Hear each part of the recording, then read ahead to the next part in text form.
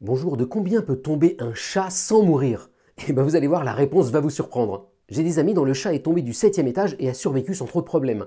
Alors ça m'épatait et j'ai regardé un peu sur internet et j'ai découvert par exemple qu'à New York, on avait vu un chat tomber du 32e étage et survivre. Et donc je me suis demandé, c'est quoi la hauteur maximum de chute? Et vous allez voir que la réponse implique un moulin à poivre.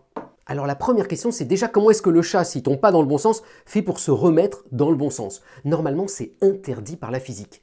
Il y a un théorème qui dit que le moment cinétique se conserve. Ça, ça veut dire que si vous lâchez un objet en chute libre et que vous faites rien d'autre, il peut pas spontanément tourner sur lui-même. Le chat, il peut pas se dire ah tiens, je vais me mettre dans le bon sens. Et pourtant, regardez ce genre d'expérience, on voit bien à chaque fois que le chat, il tombe sur ses pattes à l'arrivée. En fait, le chat est plus malin que les physiciens. Il utilise l'astuce du moulin à poivre.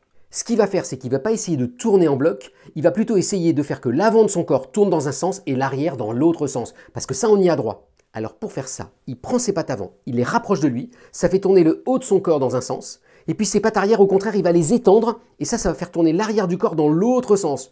Donc moulin à poivre, il tourne dans un sens, à l'avant et à l'arrière. Bon, et maintenant qu'il est dans le bon sens, la question c'est de quelle hauteur il peut tomber et survivre. Alors pour répondre à ça, il suffit de regarder comment sa vitesse évolue.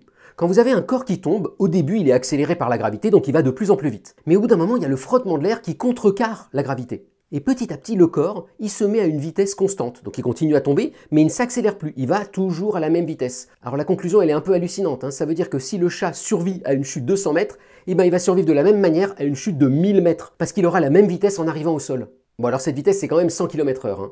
Et là arrive le grand mystère. Il y a des vétérinaires qui ont fait une étude pour essayer de voir à quel moment le chat mourait ou survivait en fonction du nombre d'étages. Et ils ont vu qu'en fait, il fallait pas qu'il tombe trop bas. Il fallait qu'il tombe plutôt du sixième étage que du quatrième étage pour mieux survivre. Et alors, une des raisons, ça pourrait être que quand le chat il tombe, au début, il se rend pas trop compte de ce qui lui arrive, mais au bout d'un moment dans la chute, il sent l'air sous son corps, et donc il va se mettre bien en parachute, se relaxer, et bien mieux amortir l'arrivée. Donc il vaut mieux pas qu'il tombe du deuxième étage, il vaut mieux qu'il tombe du troisième ou du quatrième étage.